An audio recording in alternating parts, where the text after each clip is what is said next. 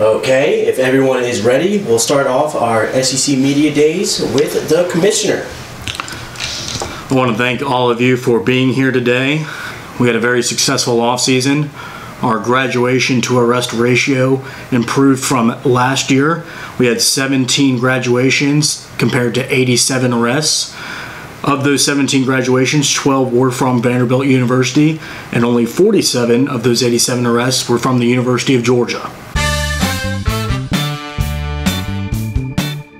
Well, really fortunate to be down here with you guys. Uh, McElwain couldn't make it this week, so Florida asked me to come down here and speak to you media guys. I see some familiar faces from years past, and uh, yeah, really, really happy with the Florida football team. The year I came back last year, uh, beat South Carolina, which was which is good. They hadn't done that in a while since uh, I was at South Carolina, and uh, made to the SEC championship. So, really, really happy about the season. Yeah, offensively, uh, we're looking very sound. Uh, got a lot of talent on that side of the ball.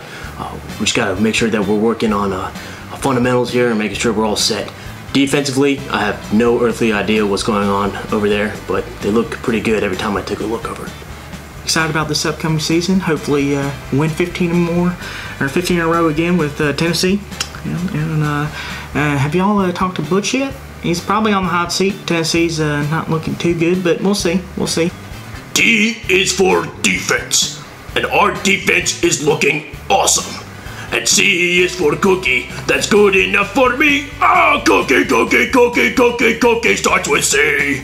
Oh, sorry, guys, I work two jobs and sometimes they just kind of blend together.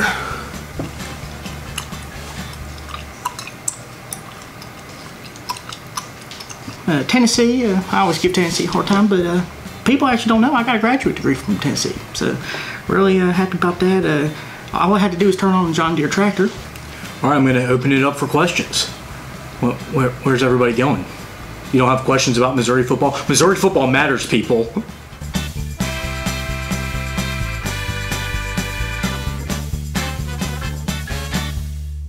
C is for cookie, that's good enough for me. Ah, cookie, cookie, cookie, cookie, cookie starts with C.